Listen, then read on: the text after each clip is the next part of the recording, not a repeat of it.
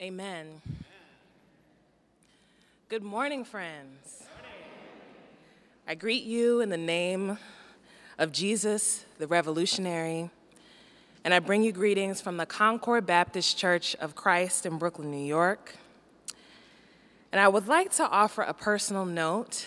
First, a thank you to the reader of the scripture this morning. I know it was difficult to end on that note. I ask that you might be praying benevolent prayers while I'm standing here. I'm asking genuinely that you send strength. As someone who is queer, as someone who would love to be a parent someday, as someone who is quite familiar with the thumbprint of slavery on her own family's history, today is hard, y'all. And yet, the Supreme Court is doing what it was designed to do, which is to protect the rights and interests of US born, cishet, white, able bodied men who own property. The rest of us are an asterisk. So today I draw strength from every single warrior in my bloodline and from the Holy Spirit herself who is so funny. this scripture was actually chosen many months ago, and it was settled with Pastor Matthews a few weeks ago. And I take this as a sign that the struggle is eternal, even though it ought not be. Even when we lack the ability ourselves, I believe that the Spirit intercedes on our behalf. So let us time travel into the text which has already been so wonderfully read. Now a new king arose over Egypt who did not know Joseph. He said to his people, Look, the Israelite people are more numerous and more powerful than we. Come, let us deal shrewdly with them, or they will increase, and in the event of war, join our enemies and fight against us and escape from the land. Therefore, they set taskmasters over them to oppress them with forced labor. They built supply cities, Pithom and Ramses for Pharaoh. But the more they were oppressed, the more they multiplied and spread, so that the Egyptians came to dread the Israelites. The, Is- the, Egyptians subjected the Israelites to hard servitude and made their lives bitter with hard servitude, in mortar and bricks and in every kind of field labor. They were ruthless in all the tasks that they imposed on them.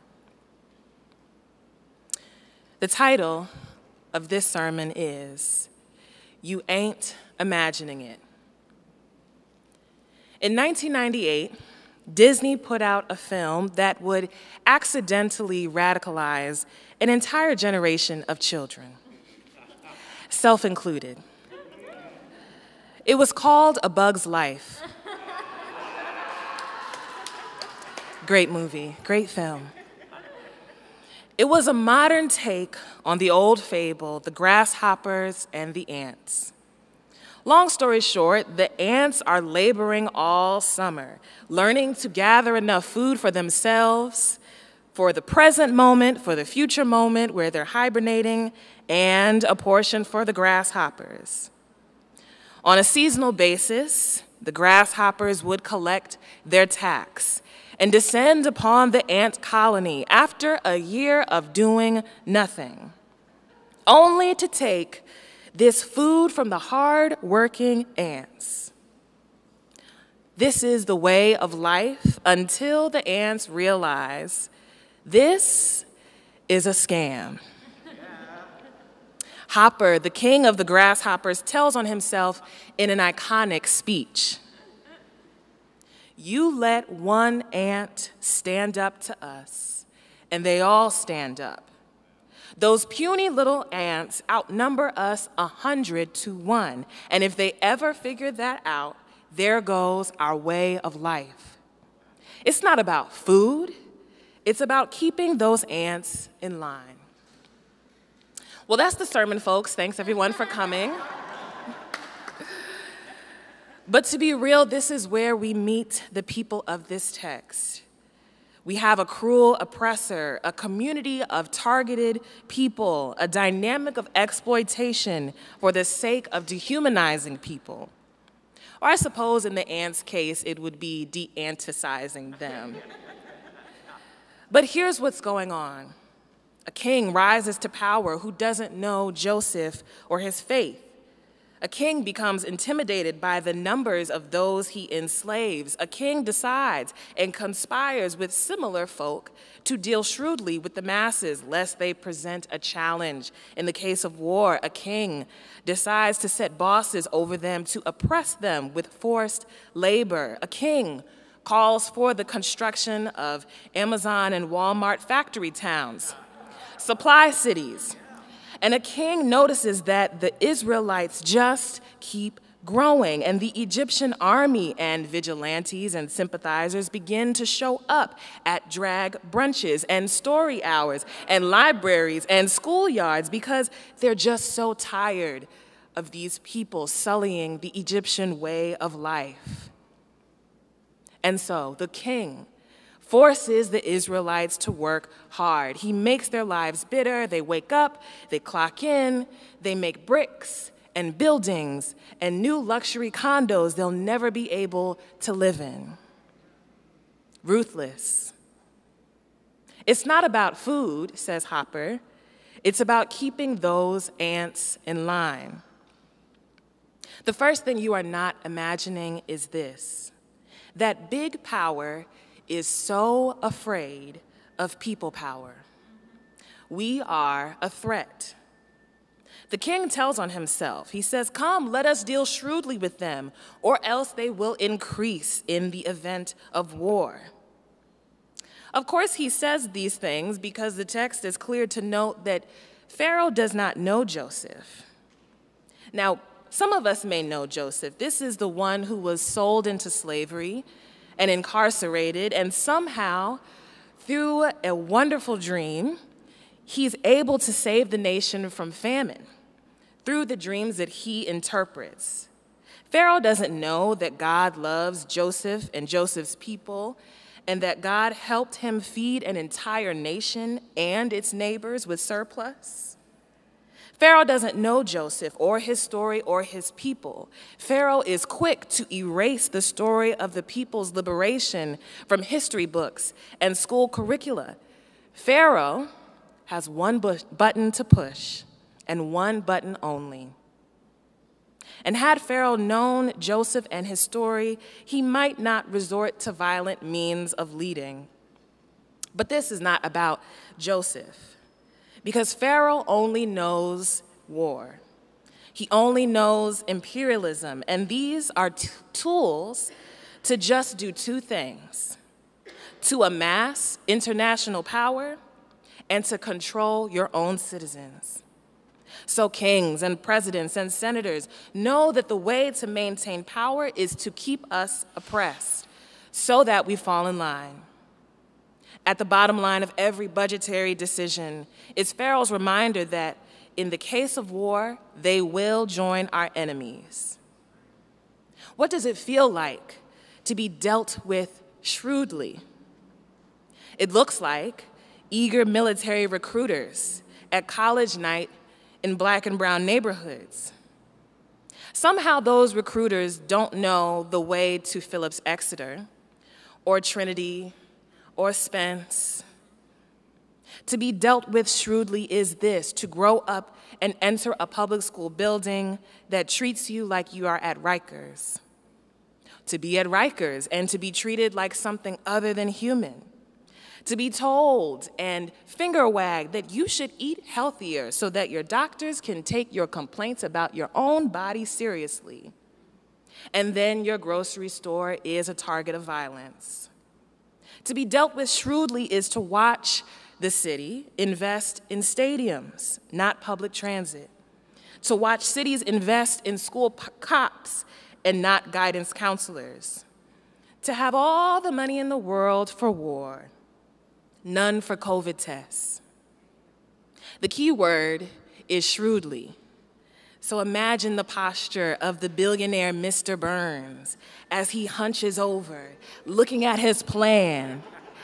Excellent. The plan is working. The second thing that you are not imagining is that it actually really is terrible out there. If the Bible is useful for nothing else, there are a few truthful narrators. They were ruthless in all the tasks they imposed on them. These narrators help us to trust our own intuition about our own lives. The issues in our world are not fake or imagined or over exaggerated or in our heads. Somebody is actually making your life bitter. Look at how much it costs to feed a family of four today compared to two months ago, compared to six months ago. What's interesting about this sentence in the text is that it's not clear who the they is. Is it the taskmaster? Is it the king and his administration? Is it some nebulous body that gets activated in online chat rooms? We don't know. But we do know that there is at least someone out there making life bitter. Sometimes that's enough for me to breathe. As much as we have a responsibility to create and imagine the world that we want, it is important to see what's happening right now. But you already know there are going to be people who minimize what you're feeling and seeing and experiencing. They're going to tell you positive vibes only, dude. They're going to tell you to manifest peace. They're going to ask you to book their absurdly priced workshop so they can tell you how to have a better life. They're going to promise you something that they simply cannot give you. By all means, my friends, please journal. Read the self help books, and there's an asterisk there. Read the ones written by the people who have the actual expertise and the training and have some sense. Don't just read everybody's book, because everybody's book is not worth reading. It's just true stuff. But there are some things that you cannot self help. You can't just spiritually bypass all of the stuff that's kicking you in the pants. It's not bad vibes, it's the edict of the king. It's not bad vibes, it's capitalism, baby. And whenever there is a need, please believe that there will be people pretending to be good people who are ready to exploit it. Shame on all those who use pain, including this present moment, as a get rich quick scheme. But if there is any good news in this text, it is the reminder that what we are experiencing right now is not in your head. It reminds me of another children's story, The Emperor's New Clothes. Love that story. A cunning tailor goes to the castle and swindles the emperor by convincing him he's got this special and expensive thread only visible to those who are important. Tempted by his opportunity to show off his importance, the emperor buys the outfit and takes the invisible suit downtown and the emperor walks around the town naked and proud, convincing everyone that he is draped in the finest fashions. But the, the townspeople begin to look at him weird and say, um, What is going on? And then he says, If you don't see my outfit, it's because there's something wrong with you maybe you should get your eyes checked, but this thread is fine thread. And the worst part of the fairy tale is that the people in the town go along with it. And when anyone gets ready to call them out and say there's something wrong with what you're doing, they get shushed by other people who are convinced of the fantasy themselves. In different iterations of the story, it is often a child who exclaims, He's naked, y'all. And of course, to the embarrassment of their parents, the child is the one to point out the absurdity. Your whole behind is exposed for the world. The entire town had believed that the emperor was really wearing magical clothes, and there is a reason why. Psychologists named this dynamic on behalf of the emperor as gaslighting. It's when someone who usually has more power than you finds ways to make you doubt the things that you are witnessing your very self. When someone says to you, Why would I lie? forcing you to believe that they are telling you the sky is green, even when you know good and well it isn't. So many of us have been gaslit by the king, but also by people who are close to us. Oh no, baby, that wasn't a flirtatious text that came up on my Apple Watch. That was my cousin. And you know, she said, I love you, and just sent some heart emojis, but yeah, no, that's my cousin. That's nobody to worry about. Are you sure we promised you a raise? We never said we were going to do that. We never wrote that in writing. I know we said we were going to codify Roe, but these things take time. And that's why you have to vote for me in November to do the same thing I've been doing all this time if you really want me to do something next time again. Let me tell you that powers and principalities and everyday people will go out of their way to make you believe that everything is fine, but the text tells on itself. They were ruthless in all the tasks that they imposed on them. So if you are beaten down or tired or struggling, please know it is not your fault. This is the design. But the last thing I want you to know that you are not imagining is that there is always a way out. There are always people doing the good work of liberation. Now, I'm so sorry to the person who had to read this text um, today. Truly, truly, my friend, because it's hard to find good news in this text. It's Pride Sunday after all. I know a good number of folks are heading downtown. I promise I will not send you down there downtrodden and gloomy. But I want to ask you to consider that later on in the story, beyond these passages, beyond this passage, we hear the story of how Moses was born. And this part of the story is often left out. But there are two faithful midwives named Shifra and Puah. And I imagine that maybe one of them had a short buzz cut with a little bit of color. And the other had long brown locks all the way down to her back, maybe a few little gold embellishments throughout. Real people I see them clear as day. And they decided that the oppression was too much. In her book, Womanist Midrash, biblical scholar Dr. Wil Gafney wonders maybe these two midwives were just the leaders of an entire industry of birth workers. Certainly, we can't imagine that just two people were responsible for all of the births in a given nation. They were likely, perhaps, part of a collective as birth workers tend to be. Pharaoh added a new law to his plan, just stinky and stinky and stinkier. And he would ask that all children assigned male at birth be executed. If I can pause here, we might talk about the issue of assigning worth and value to the genitals that children are born with. But that might mean that at some point we would have to end our practice of gender reveals. And I'm okay with that too.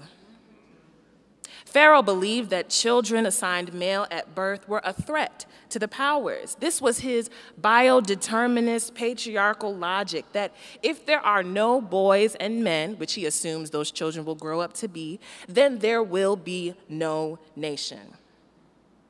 He was wrong. In response to the order from Pharaoh regarding the Hebrew children, The two midwives just believed in God. They did not do as the king of Egypt commanded them, but instead let the children live. Now, you may be saying, Minister Simpson, whose side is God on? Like, is God coming to the protest with us or not? Is God for the children to be born or not? I'm saying that God is going to put some people in place, people who are faithful and love their people, people who are discreet and safe and wise, to defy the orders that are unjust.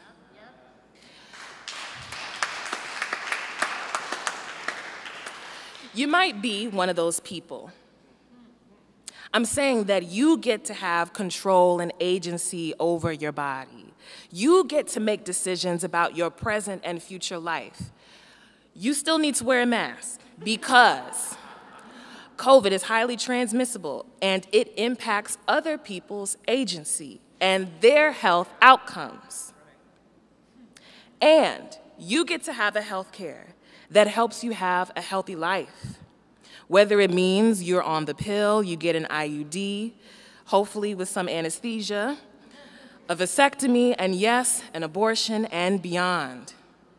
Whether it means the city's gonna pay for your doula, whether you give birth at home or in a birthing center, whether it means you have to take time off from work and you're not gonna worry about how you're gonna pay the mortgage in the meantime, whether you get to raise your children in a neighborhood where the parks are safe and the water is clean, whether you get to trust that those children will leave in the morning and come home safe, empowered, ready to talk your head off about dinosaurs whether the public venues that you frequent require masks and if there are proper air filters in the workplace, whether you can afford to take the train and expect that it drops you off to your destination safely and reliably, MTA, at any hour.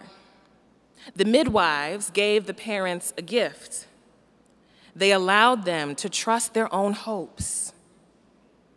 What do you want? What kind of world do you want? I imagine that these midwives whispered to each person in the birthing room I know what Pharaoh says, but we can help you have what you want. No questions, no judgment. And in that moment, whoever was having that child knew that they were not alone. They had the space, the agency to say for themselves, Is this what I want?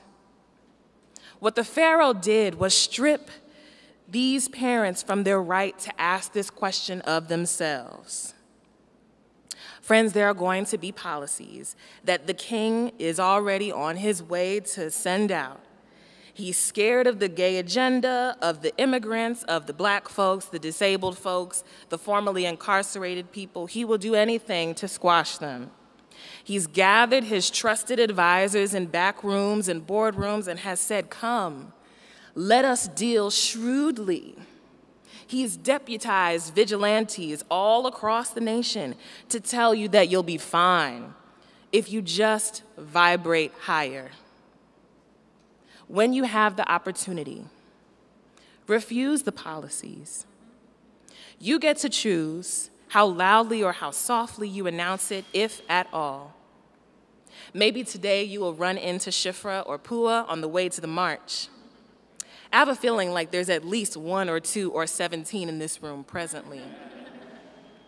Only you know what your role is, what your gift is. I can hear echoes of the wisdom of ancients, wisdom telling us that no matter what, we shall trust in the Lord.